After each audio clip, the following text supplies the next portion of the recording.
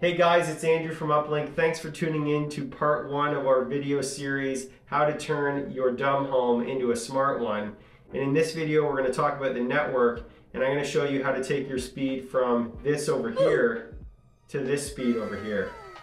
Okay guys, so there's a few stages for this project uh, that you're going to have to kind of get in order and plan ahead of time. You're going to have to make sure that you put your Rogers modem in the basement. That's step one. Okay, it's got to be by your electrical panel and near all the bell cables. Okay, now step two is we need to identify the cables and find out where they go. So just look for that little uh, phone jack. You'll have them throughout the house. I've got one on my main floor I'm going to use and one in my office. So figure out which those ones are. And then you need to identify these wires, either with a toner, that's what I've used, and um, that, that helps uh, me, me figure out which wire is which. So you have to identify your cables. And then step three is you have to convert all this over from a phone system to an ethernet system. So I've replaced the ends here with ethernet cables. Where the phone jacks were, I've replaced them with Cat6 keystones. And then I've got my network switch here that's gonna hook everything up. And I have my mesh access points that are gonna plug into that. So those are really the three stages of everything that we're gonna do.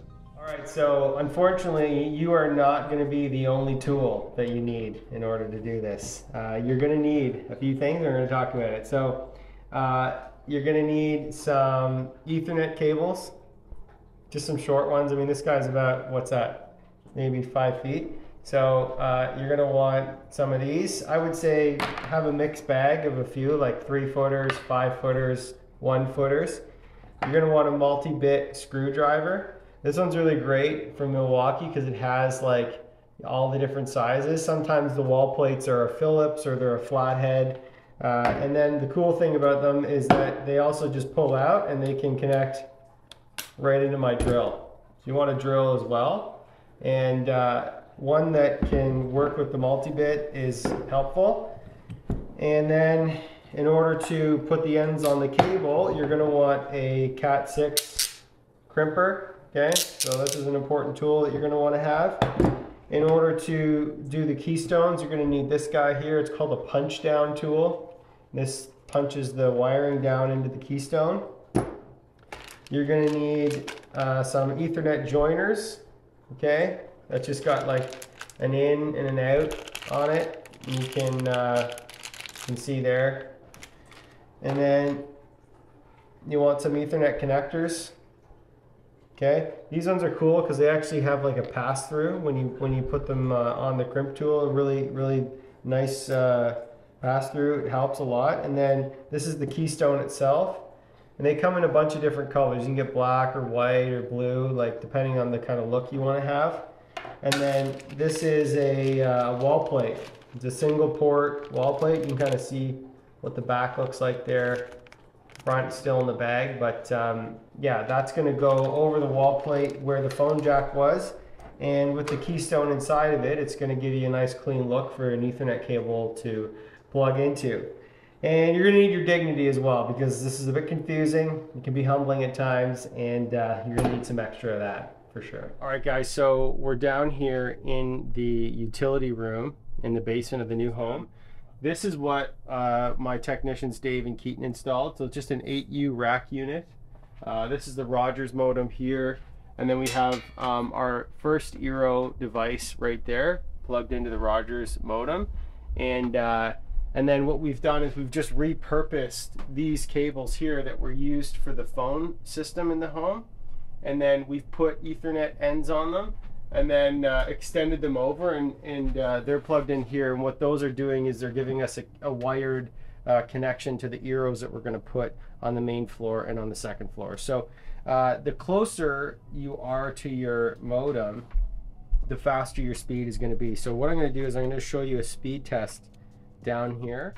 So and I also like I'm, I'm getting a 500 meg connection from Rogers and as you can see here I'm getting around 475 for my speed so that's really good because I'm right beside the modem so that's that's where I'm going to get a great connection okay so we've moved up to the main floor and I'm just in the kind of kitchen dining area I'm gonna do a speed test here. So I'm one floor away and maybe about 12 feet over from the modem.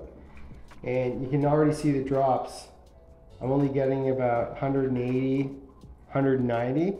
So I've lost, uh, you know, more than half of my speed already just by moving like 12 feet, 15 feet away from the motor. So let's go upstairs and we'll do a connection there and we'll see that it's going to get even worse. So now we're upstairs on the second floor in my office and we're going to test the connection here. It says I have about four bars. Yeah, so not too bad. Like I'm getting about I'm getting about 120, 130.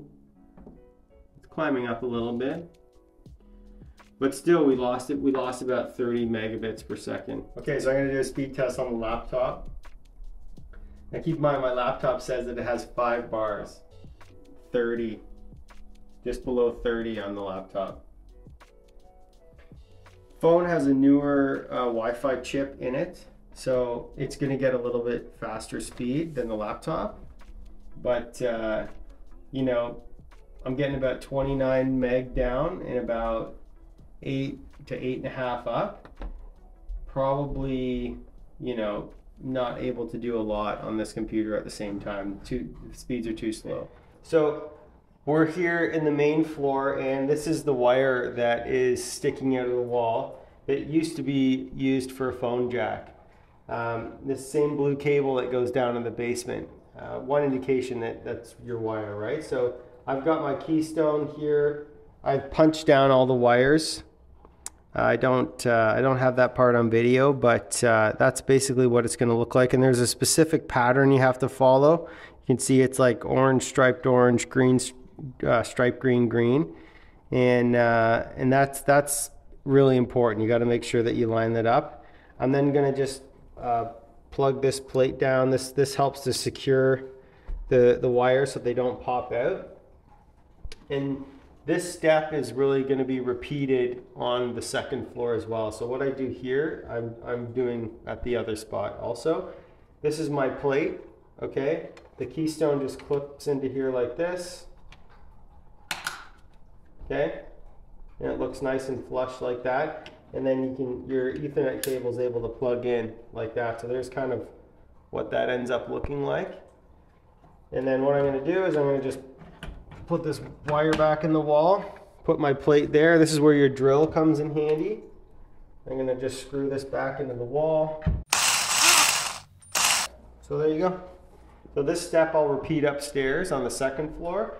This Eero is now wired directly to the modem via the switch. And I'm gonna get that same 470 speed right here in my, my great room in my house, sorry uh, that I did when I was downstairs by the modem. Okay, so I have the Eero app installed. I've already run through the setup of the first two Eeros, but I'm gonna just show you how to do it on the last one here in the office. I got my keystone plate done and this Eero is ready to go. So go. So I'm just gonna hit the plus button and it says uh, add or replace Eero devices. So I'm gonna say add Eero device. It's telling me to plug it in. I'm gonna allow so it says it's found in Eero 6, which is this guy here. Flat, with a flashing blue light, that means it's in like searching mode, pairing mode.